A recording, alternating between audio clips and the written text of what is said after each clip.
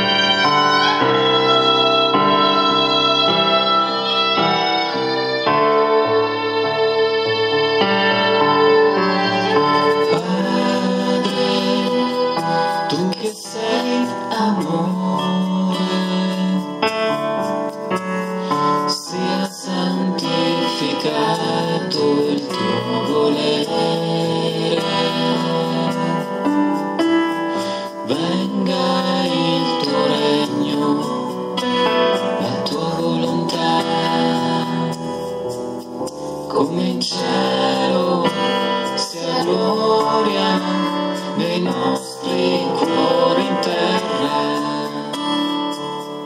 Donaci tre pani della vita, nell'infinito eterno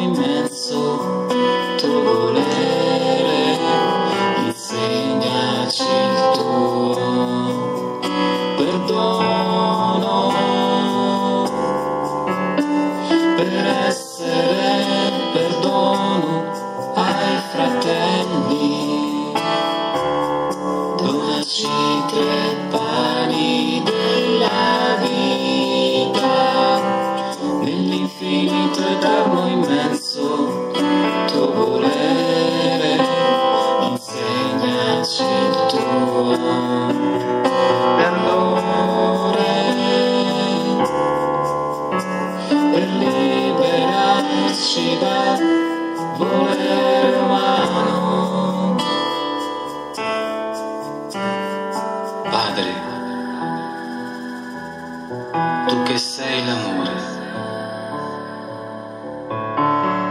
tu che sei il perdono, tu che sei la gioia, Padre,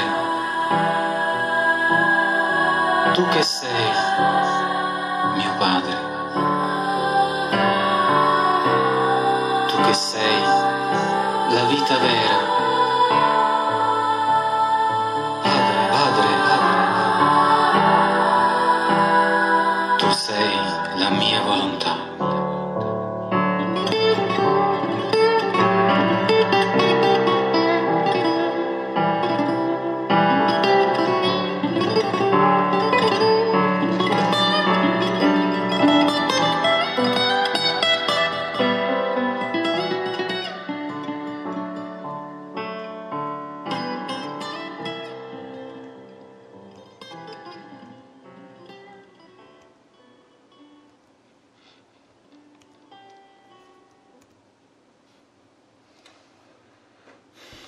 Dal breve saggio sulla divina volontà, il 6 dicembre 1917, volume dodicesimo, Luisa scrive Dopo aver ricevuto Gesù in sacramento, stavo dicendogli, ti bacio col bacio del tuo volere.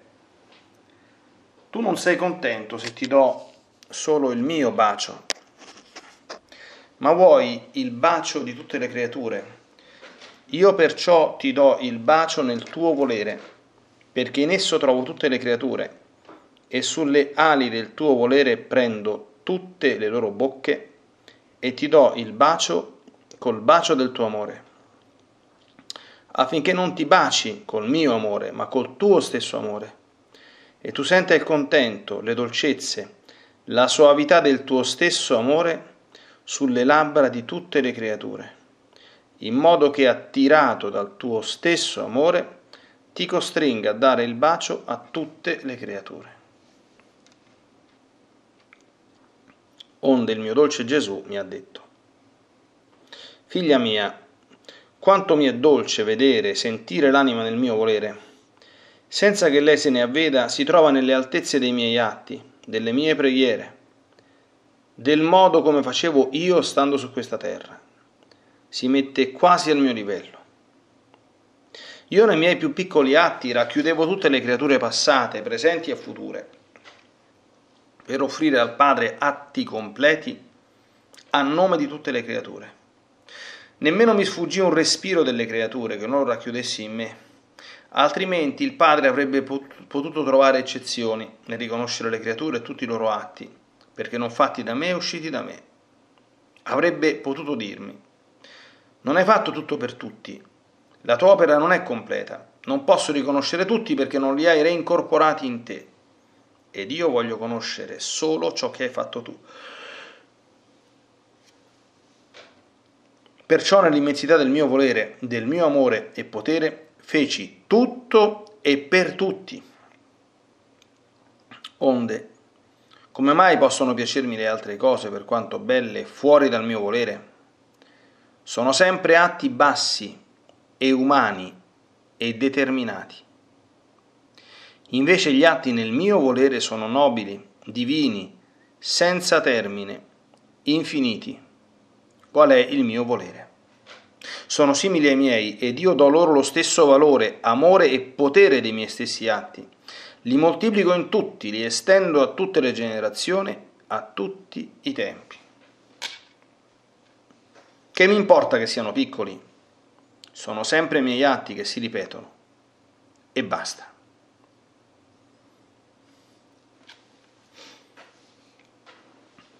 Ecco, attraverso quello che abbiamo appena ascoltato, Gesù spiega bene mh, mm, alcune caratteristiche peculiari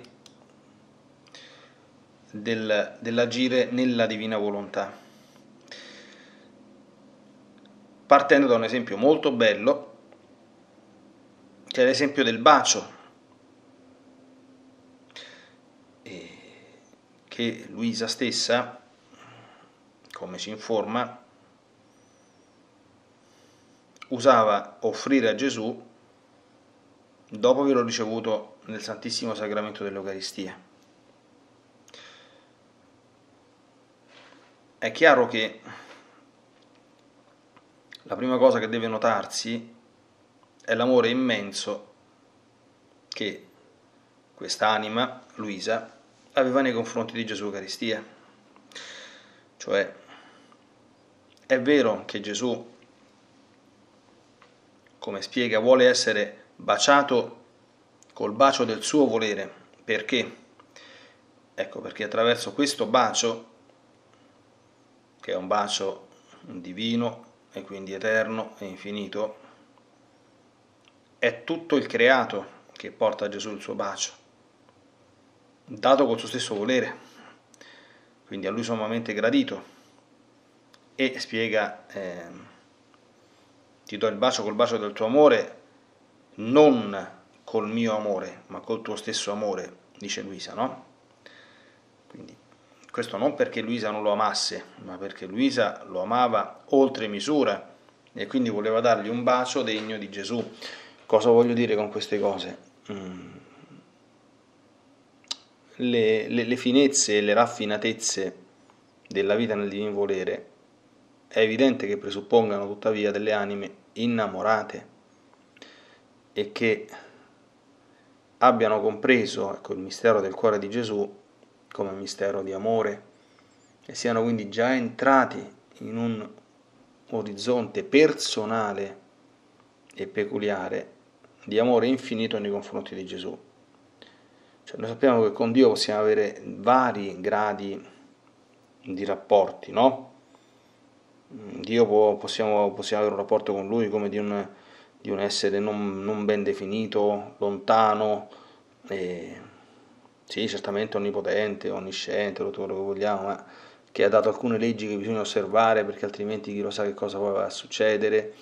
E, o peggio, qualcuno pensa che Dio stia lì in alto nei cieli e si disinteressi addirittura delle vicende umane, o peggio ancora, qualcuno gli attribuisce la causa delle sofferenze, del male presente nel mondo, no?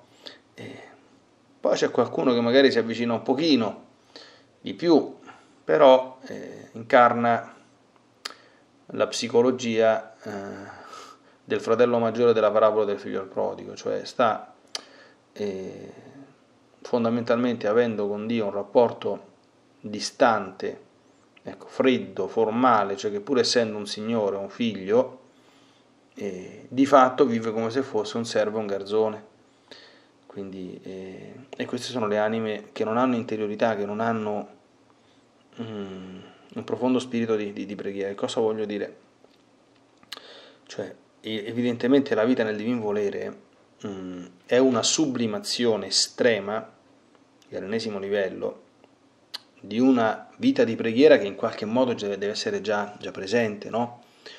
nelle, nostre, nelle, nostre, anime. Cioè, come faccio io eh, a moltiplicare gli atti durante la giornata, a mantenere questo filo ininterrotto di, di unione col divin volere, no? che non è altro che una sublimazione di un esercizio che già insegnato in ascetica classica che è il vivere alla presenza di Dio, no? quindi sotto i suoi occhi. Quindi è qualche cosa che richiede grande interiorità, no? Mm, la vita nel divin volere è vita tutta interiore. Quindi è vita di comunione intima, profonda, è... che ha chiaramente dei momenti in cui è, viene, come dire, eh, particolarmente eh, esercitata, no? Adesso non vorrei sembrare irriverente, no? Però eh, la vita con Gesù o la vita con Maria, per chi è devoto della Divina Maria e quindi preferisce far passare tutto attraverso di lei, quindi non andare direttamente a Gesù, eh, tanto la stessa cosa, non mi stancherò mai di ripeterlo, come scrive bene San Luigi Monforte nel Trattato della vera devozione, è vita sponsale, vita di amore sponsale, cioè, mm, e tra l'altro di una sponsalità divina e analogicamente mm, si vive dentro questa sponsalità divina, come dire, mm, la logica, l'espressività dell'amore umano tra due sposi, cioè Due sposi si amano sempre quando sono veramente innamorati, no? Quindi eh, durante la giornata che cosa dovrebbero fare due sposi santi? Quando si incontrano, si abbracciano, si danno un bacetto, cioè dovrebbero avere questa, questa, questa esigenza di stare sempre insieme, dovrebbero attendere, come dire, con gioia con trepidazione nel momento in cui stanno da soli in camera, possono effondersi in santa intimità, capiamo bene, no? E, eh, perché? Perché, perché? Perché si amano, perché vogliono stare insieme eh, perché vogliono comunicarsi, darsi amore reciprocamente. Eh, allora, eh, nella um, vita di orazione, cioè, queste stesse identiche cose si trasfondono nel nostro rapporto con Gesù e con Maria. Allora questo, questo legame, chiaramente incessante, che è necessario per, perché piano piano tutta la nostra vita diventi una vita nella divina volontà senza nubi, senza zone d'ombre, senza zone d'uscita, no? Un figlio del divino volere la sera quando fa l'esame di coscienza è chiaro che una delle prime cose che deve chiedersi è ci sono state delle zone d'ombra in questa giornata, cioè dei momenti in cui ho completamente perso il filo, l'unione con la divina volontà, non mi sono unito alla divina volontà, ho lasciato delle azioni, dei pensieri fuori della divina volontà. Ecco, ma quando si è veramente innamorati, mm, chi ha avuto l'esperienza di essere innamorato, cioè non si pensa ad altro, capite? Non si pensa a nient'altro, non si desidera nient'altro che tutto il mondo sparisca e si possa stare dieci minuti, un quarto d'ora, un'ora da soli con l'amato o con l'amata. Questa meditazione cade diciamo, a livello contingente nel primo venerdì del mese, oggi è il primo venerdì del mese, no? E che cos'è la rivelazione del Sacro Cuore di Gesù? Gesù ha provato in tanti modi di farci comprendere chi lui è e cosa vuole. È la rivelazione di un amore immenso e infinito e ardente da parte del Signore che tra l'altro desidera, esige il ricambio da parte della creatura.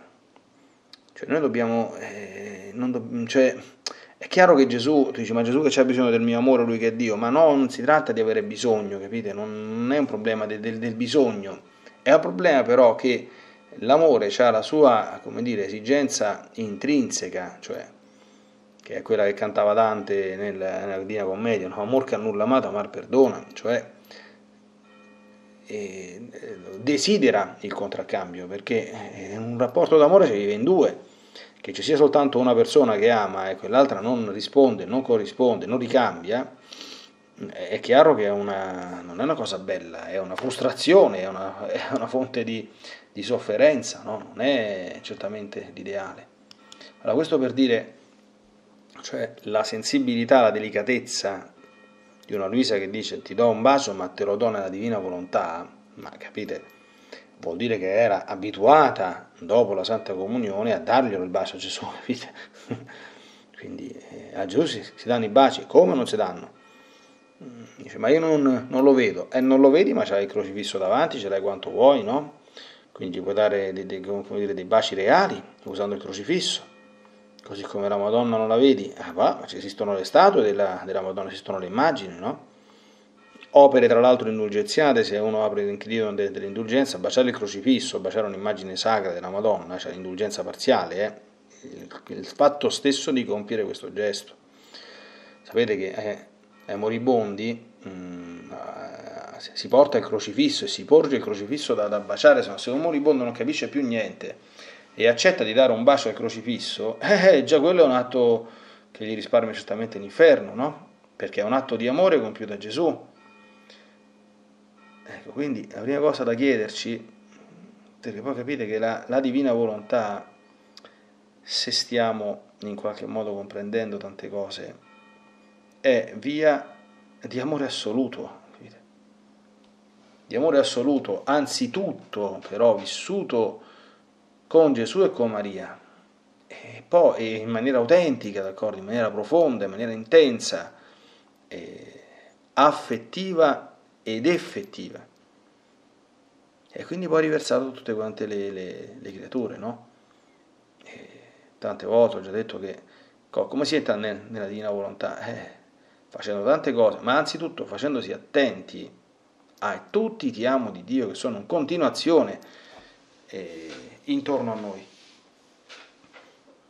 E l'uomo eh, purtroppo privo di intelletto, anche se ce l'ha, non riesce a farlo funzionare bene, non li riconosce, ma ubriacato insomma dalle, dalle menzogne sataniche e, e in balia della propria ottusa volontà, del proprio oscurato intelletto che non capisce più niente, vede sempre lucciole per lanterne, quindi non vede l'amore di Dio, quindi non ricambia Dio con amore, non ringrazia Dio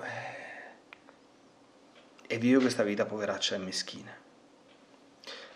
Ecco, baciare Gesù nella divina volontà significa non soltanto portargli il mio di bacio, ma portargli tutti e, e dare a Gesù una gioia in questo modo immensa e, attenzione, se io baciando Gesù nella divina volontà, gli porto il bacio di tutte le creature, è, capito, in un certo senso sta scritto qui, eh? abbiamo letto, costringo Gesù a dare a tutte le creature questo bacio, eh, capite? Un bacio di Gesù eh, può provocare delle diverse reazioni, insomma, in un'anima, delle diverse buone reazioni, no?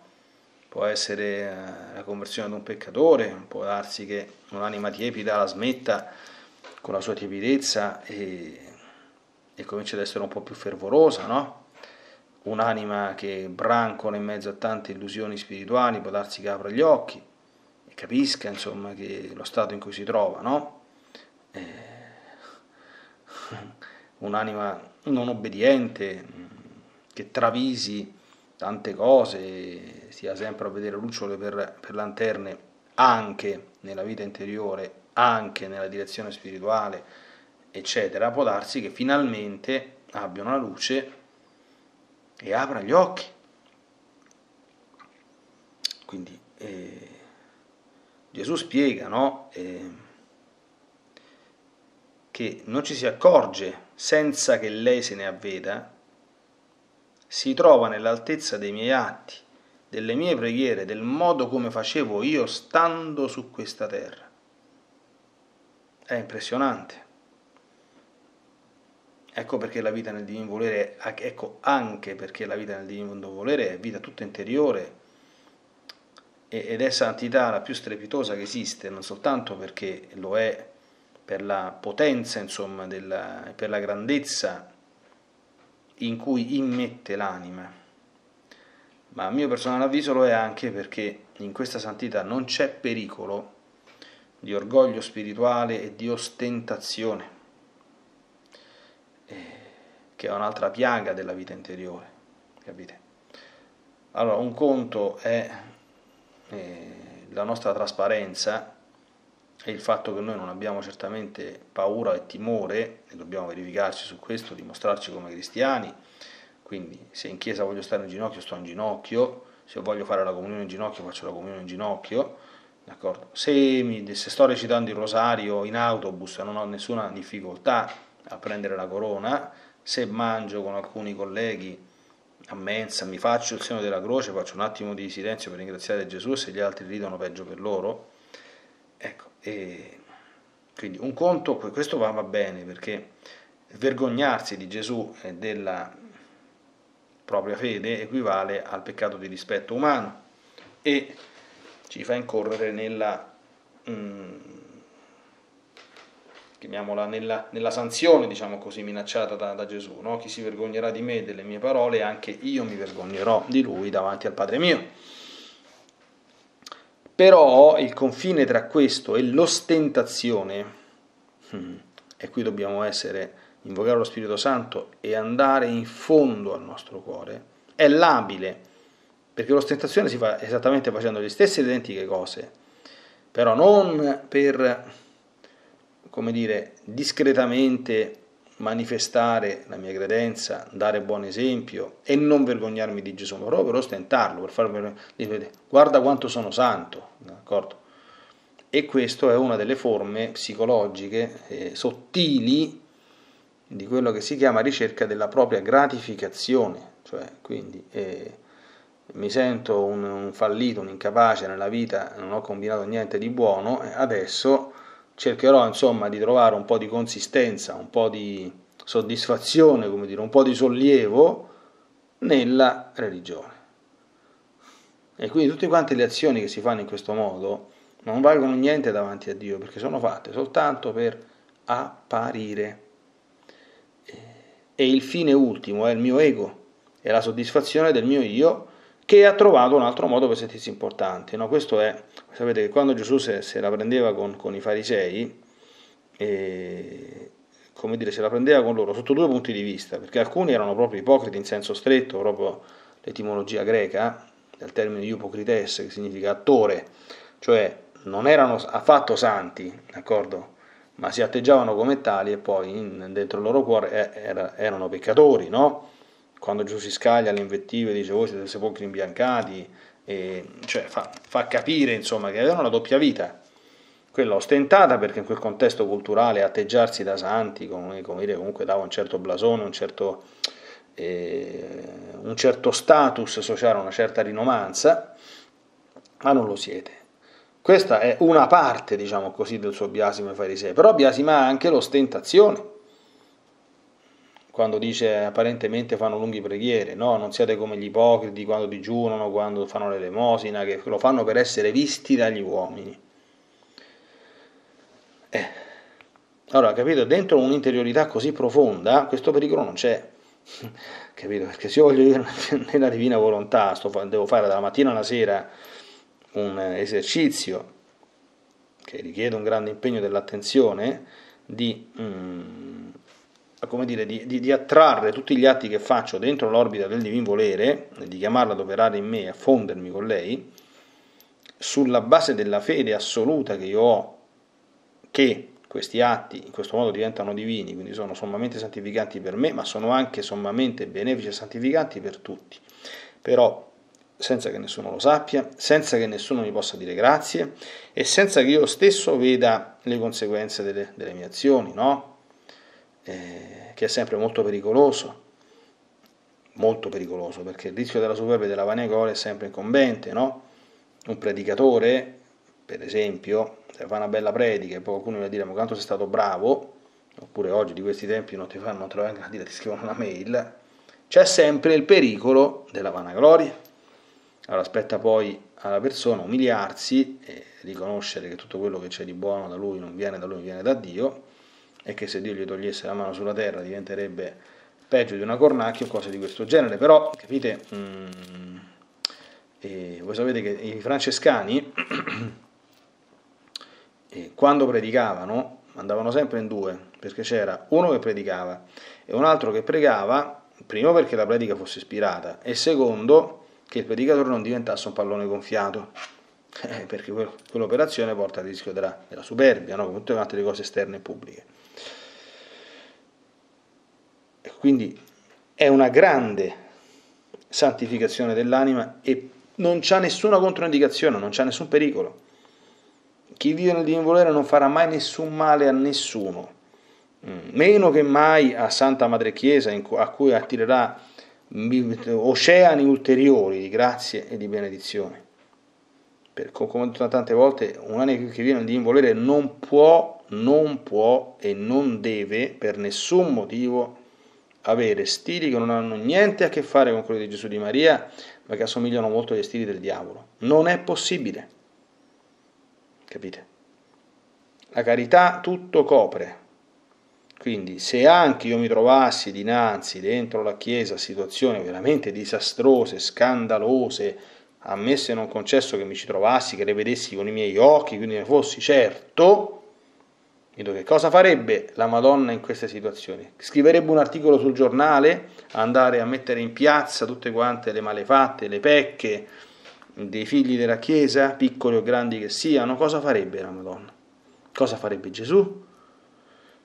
comincerebbe a pregare forte, a pregare tanto, a riparare e a chiedere al Signore la luce perché se qualcuno sbaglia possa ravvedersi. Pagando di persona, quindi facendo penitenze, tutte queste cose, nel più assoluto silenzio. Io su questo non mi smuovo nemmeno di una virgola perché per me è di una chiarezza estrema, no? Allora, Concludo riprendendo alcune espressioni di Gesù, no? Come mai possono piacermi le altre cose per quanto belle fuori dal mio volere? Sono sempre atti bassi e umani e determinati. Attenzione, qui si riferisce a tutti gli atti, compresi quelli santi. Io raccomando sempre di andare a tornare a leggere il Trattato della vera devozione, nella sezione in cui, in cui San Luigi spiega come tutti quanti gli atti compiuti da un'anima che è soggetta alle conseguenze del peccato originale, per quanto siano compiuti in grazia di Dio, per quanto si abbiano le migliori intenzioni, sono sempre macchiati e macchiati ed è brutto, non sono belli agli occhi di Dio, non lo possono essere. Lui li accetta per condiscendenza, d'accordo, perché comunque sono sostanzialmente buoni, d'accordo, non cattivi, ma sono sempre atti di sgorbietti, perché noi questo siamo capaci di fare, purtroppo. Invece, continua Gesù, gli atti nel mio volere sono nobili, divini, senza termini infiniti. Qual è il mio volere? Ecco perché non ci deve essere altra attenzione, altra intenzione per noi. Se crediamo a queste cose e se veramente vogliamo santificarci e santificare, il buon Padre Pio, quando gli chiedevano cosa devo fare, santificati e santifica. È rivolto specialmente ai preti, ma questo vale per tutti. Come mi santifico e come santifico, compiendo tutte le mie azioni, ma tutte, fino a, fino, ripeto, a non, a non avere più neanche un secondo, come era per la Divina Maria, di zona d'ombra, nel divin volere. Punto. E questo senza, ma però, però bisogna pure fare, noi siamo esseri umani, stiamo sul pianeta Terra. Cioè, è evidentissimo, l'abbiamo già detto tante volte, che questa non è una, una, un, una vita vissuta nel, nel, nel, limbo, insomma, nel, disincarnata, fuori del mondo, a, a, a, a, fare gli atti e lasciare che tutta vada, vada in malora. No?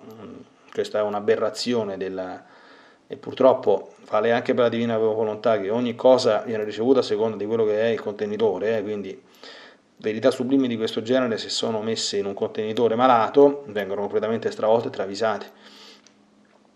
Quindi un padre fa il padre, un prete fa il prete, un frate fa il... e lo fanno al massimo livello perché lo fanno con la massima perfezione possibile perché questo esige la divina volontà. La divina volontà esige, esige opere perfette, quindi noi dobbiamo metterci tutto il nostro possibile per eh, perché le nostre opere tutte siano perfette, però sapendo che non lo sono, cerchiamo di compierle tutte nel divino volere per offrire al Signore atti degni di Lui.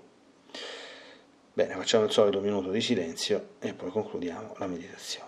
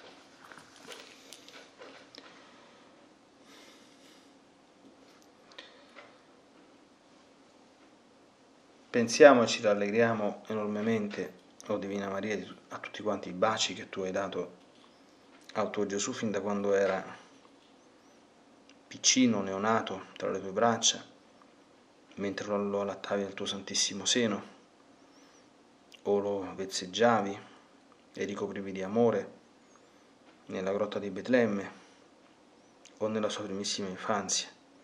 Quanti baci nella divina volontà hai dato tu a Gesù e come e quanto da te dobbiamo imparare il tuo amore verso Gesù, che era amore non soltanto di madre, la più tenera e la più grande delle madri, ma era amore di sposa, era amore di innamorata, era amore di amica, era amore di collaboratrice, di compagna, di socia. Ecco, tra te Gesù tutte le forme sante di amore si sono concretizzate, compresa anzi soprattutto presente quella sponsale cantata nel Cantico dei Cantici, che indubbiamente ha te e Gesù come protagonisti primi e principali. Noi ti chiediamo, Divina Maria, di infiammare il nostro cuore di amore per te e per Gesù ma proprio infiammarlo come il cuore di San Filippo Neri, che prendeva letteralmente fuoco, preso dall'amore ardente verso Gesù, fino addirittura al punto da vedere spostate le costole del suo petto, veramente, tanto era l'ardore dell'amore. è solo quando avremo un amore così grande che saremo capaci veramente di vivere completamente immersi nella divina volontà, senza mai perdere di vista te e Gesù in tutti i nostri atti e saremo anche veramente dei, degli echi fedeli, no? dei, dei, dei, poli che riversano questa pienezza traboccante di amore come tu e Gesù volete qualunque anima, persona, situazione che noi incontriamo. Ebbene, per questa giornata ricordare proprio l'esempio del bacio e rievocare cosa significa baciare Gesù nel divin volere. E facciamo anche questo gesto, magari mettendoci davanti al crocifisso, eh, come giaculatoria di oggi. Gesù ti bacio nella divina volontà. Gesù ti bacio nella divina volontà. Gesù ti bacio nella divina volontà. Gesù ti bacio nella divina volontà. Gesù ti bacio nella divina volontà. Gesù ti bacio nella divina volontà. Gesù ti bacio nella divina volontà. Gesù ti bacio nella divina volontà. Gesù ti bacio nella divina volontà. Gesù ti bacio nella divina volontà. Gesù ti bacio nella divina volontà. Gesù ti bacio nella divina volontà. Gesù ti bacio nella divina volontà. Gesù ti bacio nella divina volontà. Gesù ti bacio nella divina volontà. Gesù ti bacio nella divina volontà. Gesù ti bacio nella divina volontà. Gesù ti bacio nella divina volontà. Gesù ti bacio nella divina volontà. Gesù ti bacio nella divina volontà. Gesù ti bacio nella divina volontà. Gesù ti bacio nella divina volontà. Gesù ti bacio nella divina volontà. Gesù ti bacio nella divina volontà. Gesù ti bacio nella divina volontà. Gesù ti bacio nella divina volontà. Gesù ti bacio nella divina volontà. Gesù ti bacio nella divina volontà. Gesù ti bacio nella divina volontà.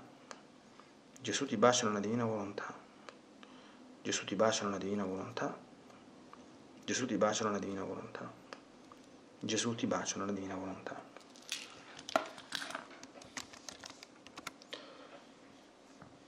nella divina volontà nel nome del Padre, del Figlio e dello Spirito Santo. Amen. Ti voglio benedire con la stessa benedizione con cui Gesù benedisse la sua Madre Santissima prima di iniziare la sua passione. Quindi per mezzo di intercessione della Beata e sempre Vergine Maria, Madre Regina della Divina Volontà, ti benedico per imprimere in te il triplice suggello delle tre divine persone affinché tu risorga dal tuo decadimento per vivere nel divino volere. Questa benedizione nel nome del Padre comunichi di imprima nella tua volontà il suggello della sua potenza, restituendo la sovrana di tutto. Nel nome del Figlio Gesù, comunichi in prima nel tuo intelletto il suggello della sua sapienza, e nel nome dello Spirito Santo, comunichi in prima nella tua memoria il suggello del suo amore.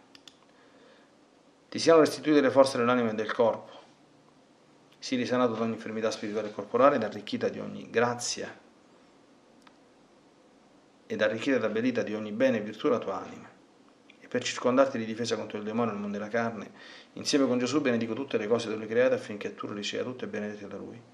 Ti benedico la luce, l'aria, l'acqua, il fuoco, il cibo, tutto, affinché resti come inabissato e coperto con queste benedizioni. Insieme con Gesù ti benedico il cuore, la mente, gli occhi, le orecchie, il naso, la bocca, le mani, i piedi, il corpo, le viscere, il respiro, il moto, tutto ti benedico per aiutarti, ti benedico per difenderti, ti benedico per perdonarti, ti benedico per liberarti da ogni male, ti benedico per consolarti, ti benedico per farti santo. Ti benedico dunque nella divina volontà nel nome del Padre, del Figlio e dello Spirito Santo. Amen. Fiat Ave Maria.